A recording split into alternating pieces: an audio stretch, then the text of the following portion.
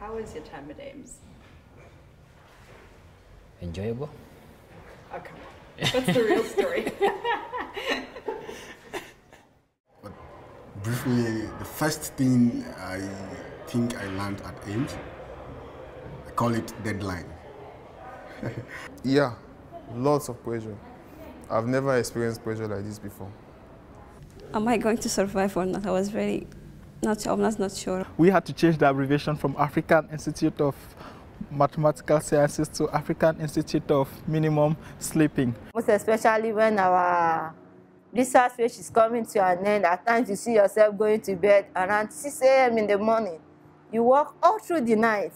Because almost everything at AIMS is programmed and you must meet deadlines. If, if you can't do that, you can't succeed. The most challenging part is first the English. The English. It's the first time that I study with English. But uh, the thing which make it easier is all of us, uh, all of us uh, speak mathematics. So, yeah. Getting used of the new environment, new people, new cultures. Living your loved one. Everything was new for, for me. It's totally different from what I've experienced. What I enjoyed most about AIMS is the quality of the lecturers, the interaction, the level of interaction between the lecturers and the students.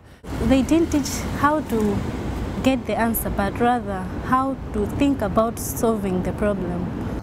How to work independently and uh, with groups. The availability of lecturers, the availability of tutors to discuss questions, not only as if you were just to pass exams, but to understand the depth, to get an in-depth understanding of the concept was what really pleased me the most. There are very few ladies who continue with mathematics, but the lecturers kept encouraging us to keep on working hard. Uh, professor told me, uh, "You are a star."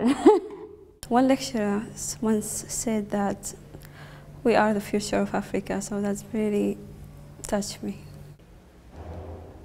Uh, one thing that I'll never forget about AIMS is the opportunities that they, they, they gave me to meet different people. That I'm able to find a place to go next after AIMS. That was actually amazing to me.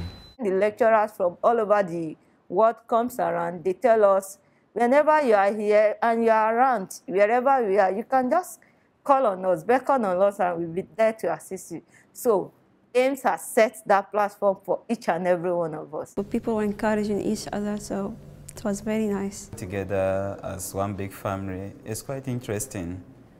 Different religion, different views, different state of life, but yet still we see each other as friends, brothers and sisters. And the way we get to go on with each other is quite amazing. Most important thing is diversity in mathematics, in culture. You learn to accommodate people. You learn how to deal with people, their emotion, their feelings, their culture, and all that. So it makes you to be a better person. It's my new family. You can't come to your AIMS and go back to your country and you say you remain the same because there has been so many transformations that has taken place. I feel more confident than I was at the beginning. So ready to face the challenges, the future challenges. AIMS has groomed me. Would you do it again this journey? Yes, I will. If I were to do it again, I will do it again. I'll miss it very much.